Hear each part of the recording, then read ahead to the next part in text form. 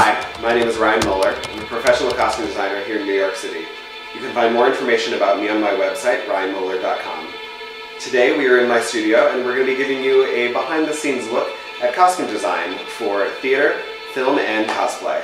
Hey guys, I'm Negative Stacey. I'm a professional cosplayer. Been cosplaying for over a year now.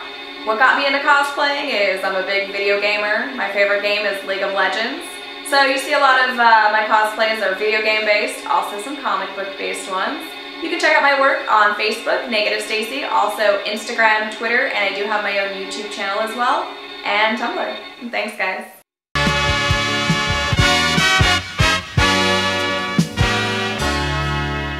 So to uh, come up with a character, uh, I am given the script and I read it in depth and I make my own notes as to who these people are, where they live, uh, what their family relations are, what they do for a living, what their sort of socioeconomic status is, where they fit in the hierarchy, um, and try and come up with a picture of the world in which they live in.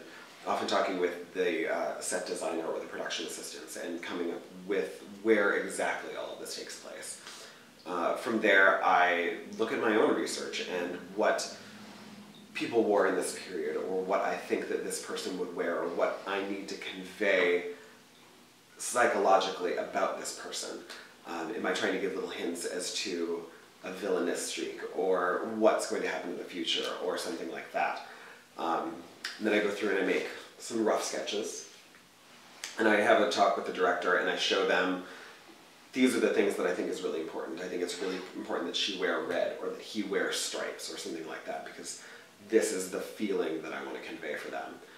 Um, from there, it's choosing fabrics and getting the performer in, doing fittings, and coming up with all of the accessories, the right hat, the right gloves, the right shoes, making sure that everything looks and fits, right? And that the performer is comfortable and that they can do their job, that they can walk with a trainer, they can walk with seven inch shoes on or something like that.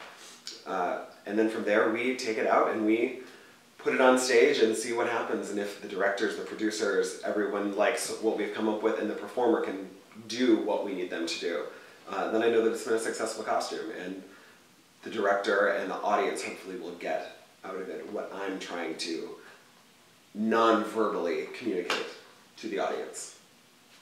Awesome. Yeah, uh, as far as my creative thought process, um, Usually I uh, look at a bunch of different versions of a specific character. Um, I decide the character based upon which convention I'm going to, uh, what movies just come out, my favorite video game at the time, um, and then I do research. I look at fan art on the character. Um, you know, I decide, do I want to add, you know, steampunk? Do I want, um, I just like to add my own flair. It just really depends on whatever I'm into at the time, but I do use, you know, a million different pictures and versions of the character as possible and just kind of do my own take on it. Um, I just look how they made it and I, you know, it's the same thing. I gotta think how to bring that to life. Um, you know, I'm so limited in my resources and my talents, so, you know, some things I buy, some things I make, um, and just a combination. Um.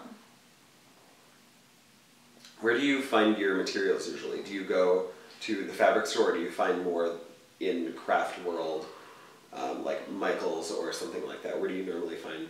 Um, it's a big combination of both. Um, every time I do a costume, I, I definitely go to both Michaels and the, the Fashion District.